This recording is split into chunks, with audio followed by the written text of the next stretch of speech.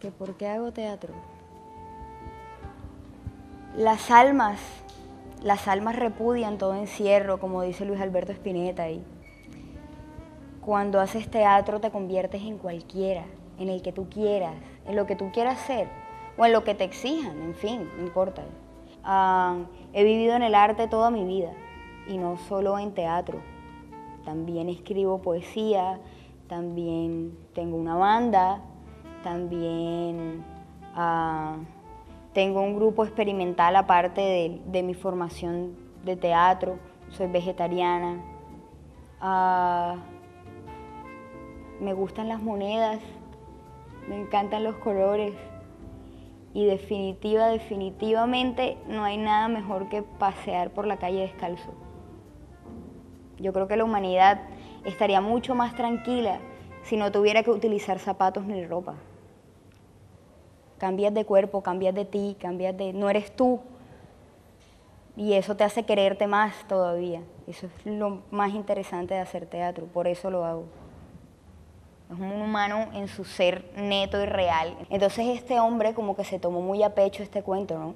De, de la revolución total interna y decidió arrancarse su carne, arrancarse la piel, decidió arrancarse todo, todo, todo lo que tuviera que ver con humanidad y se quedó solamente con su ínfimo ser, lo que es el humano al principio de los tiempos, lo que fue un animal y lo que sigue siendo. Cubiertos, un plato, servilleta, todo perfecto. Y resulta que este es un animal que realmente no le importa, come con las manos, los cubiertos los inventamos nosotros. Este diablo se vuelve muy itinerante, ¿no? Porque se mueve y camina y, huele y todo ese cuento, pero todo es una experimentación.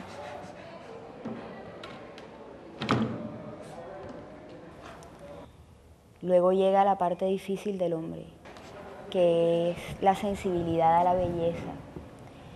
Y este diablo iracundo cuando llega a olerlo y a experimentar con él como experimenta con los otros elementos, resulta que lo que hace es echarse para atrás y lentamente se va apoderando de ese ser que está ahí, lo empieza a oler y lo empieza a mirar, pero muy delicado, porque el ser humano se debilita ante la belleza, eso es algo innato de él.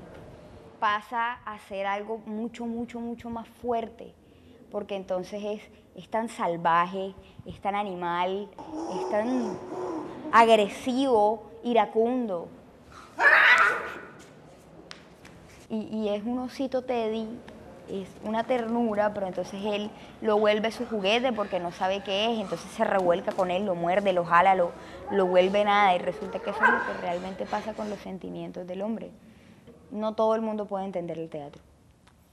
Pero a alguien le escuché una vez algo muy bacano y es que si la gente quiere ver cosas que pueda entender, pues no debería ir al teatro, debería ir al baño y ver cosas que pueda entender.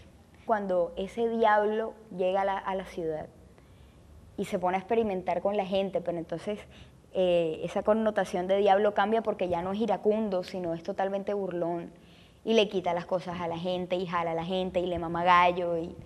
Es increíble, es increíble, increíble esa experimentación, es increíble. Esos sketches callejeros son muy, muy bacanos. De hecho, me gusta mucho más la calle que, que las tablas. Señor, un del botón, claro, por supuesto, úndalo. Uno de los sketches que más me ha gustado en la calle es el de La Dama Caliente. La Dama Caliente porque es una burla total, íntegra de la pornografía, de la prostitución,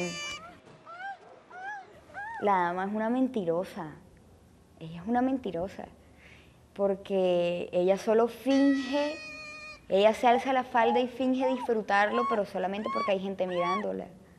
Pero en realidad a ella no le gusta eso, ni siquiera le gusta su trabajo. Solo que como hay gente ahí, y bueno, ya que le están prestando atención, tiene que hacer algo. Y como no sabe hacer nada, pues se alza la falda. ¿Qué más vas a hacer?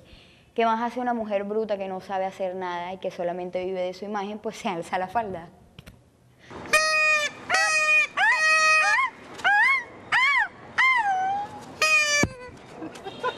Me encanta el teatro callejero porque es que tú te les estás burlando en la cara y la gente no se da cuenta. El botón de la caja. Este. Ese. Y piensan que que ellos están haciendo parte de tu juego, y piensan que tú estás jugando con ellos y no se dan cuenta que realmente lo que estás haciendo es burlándote de ellos. es muy divertido, la verdad no me esperaba pues que, que fuera divertido, que en realidad es un rato que, en el que uno se distrae aquí caminando en el parque, me pareció bien. y haciéndoles una crítica fija de, hey, mira, este eres tú realmente, eres un payaso. Este eres tú realmente, eres una persona que no, que no piensa más allá. Este eres tú realmente, eres una mujer que no le gusta pensar sino solamente para llamar la atención se alza la falda. ¿Ves? Para mí el fuego es la pasión, la fuerza. Y eso es lo que, lo que más me llama del arte y la gente te respeta mucho porque, porque ven ese contacto y esa confianza que alcanza a tener uno con el fuego. Ya llega un punto en el que cuando yo prendo los malabares, primero me paso la candela por el cuerpo. Es para mostrarle respeto al fuego, para mostrarle respeto, confianza y para que él sienta confianza conmigo. Está totalmente vivo, eso ténganlo por seguro el fuego está totalmente vivo.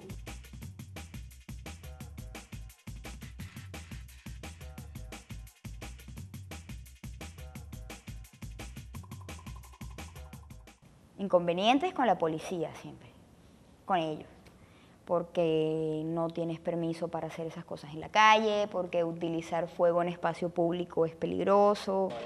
La la gente está diciendo la gente está diciendo que eso es un peligro para ellos y se les puede soltar eso y lo puede quemar y puede hacer algo. Señor, yo les juro que ella tiene su malabares.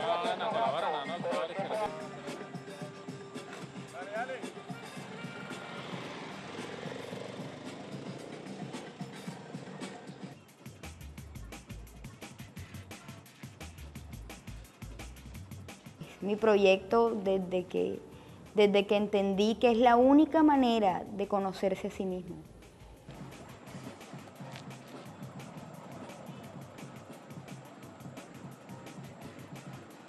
El teatro es una máquina cargada de futuro. El teatro, sobre todo el callejero, es una visión total de, de quién eres o quién puedes ser o quién quieres ser. ¿Tú quién quieres ser? ¿Tú qué puedes ser? ¿Hasta dónde puedes llegar? Qué cosas que no te atrevas a hacer tú realmente eh, se puede atrever a ser un personaje tuyo. Y qué cosas que tú te atreves a hacer un personaje tuyo nunca se va a atrever a hacer. Ese es el teatro callejero.